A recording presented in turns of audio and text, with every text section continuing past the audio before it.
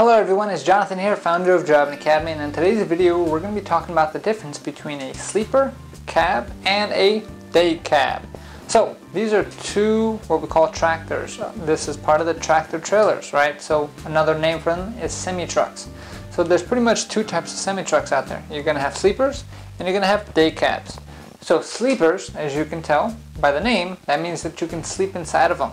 And then day cabs, by the name, they're built to be driving during the day itself. So in today's video, we're going to be breaking down the exact differences between each one of these things right over here. So let's talk about the sleeper. This is probably the most common truck out there because most drivers are driving either regional or over the road or even if you are driving local, a lot of drivers like this option as well because now it gives them the flexibility to travel longer distances. Because this sleeper right over here, if you can check it out, we're actually in the cab of one and you can see the beds behind me. So some of them come with a single bed, some of them come with a, a, a double bed. And the other cool thing about these is you can trick them out. So you can put in a fridge, you can put in a TV, you can bring your PlayStation or Xbox, whatever with you. So you have your own kind of moving apartment, but you do not have a toilet. So you can bring a portable toilet uh, if you like, or a big Gatorade bottle if you know what I'm talking about. So that being said, the main reason to have a sleeper is that the sleeper is bigger. It's usually built to carry more weight because the engine is more powerful since most of the time the sleepers are built to do a lot of a lot of miles going over the road from state to state to state to state. When we get to the day cabs, they are a little bit different. As you can see, they are much smaller. They do not have a sleeper in the back of it, which means they don't have a bed. And those cabs are built to actually uh, transport local deliveries, which means that you're not going to be sleeping inside this vehicle simply because it doesn't have the room for it. Usually these are built for local deliveries, which means the turning radius should be much tighter for you. So let's kind of show you the different examples. The bigger sleeper itself is going to take a lot longer to make a turn. So that means those tight turns that you're making on local deliveries, or maybe those alley docking maneuvers that you're going to have to do for an actual delivery itself, sleeper might not be the most comfortable with it. It's not doesn't mean it's impossible, but that's why a lot of companies do choose to use day cabs, especially for things like containers and local deliveries like restaurants and stuff like that, simply because of the tight spaces that they're going to have to go through.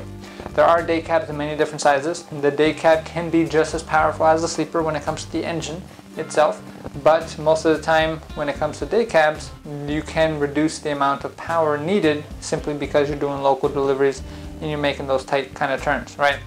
Here at Driving Academy, we actually train in day cabs, for instance, and we go one step further, which is a single axle day cab. Now, why do we do that? One, we're in the state of New Jersey, which means we're limited in space. Space is super, super important, which means the more, the bigger the vehicle and the more axles you have of the vehicle, the longer it takes this vehicle to turn in the training yard itself.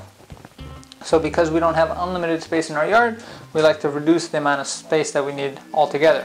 Second thing is it's a little bit easier to learn how to drive in a single axle vehicle versus a double axle vehicle. The mechanics and everything are the same, but just the timing and the reaction time is much quicker. To give you an example, when you have two axles in the back of your vehicle itself, when you're backing up and turning the wheel to the right, it's going to take a little bit of time before it can actually start reacting behind there simply because you have more tires to turn, right? So in a single axle vehicle, you're actually able to see that reaction much quicker, which means that you actually get to learn your maneuver much faster. So those are one of the trade secrets that we have here. And if you are interested in learning more about how to get a CDL license, and we can actually guarantee that you walk away with a CDL license, you want to give us a call, 908-525-3609, or check out our virtual school tour at cdldrivingacademy.com forward slash tour.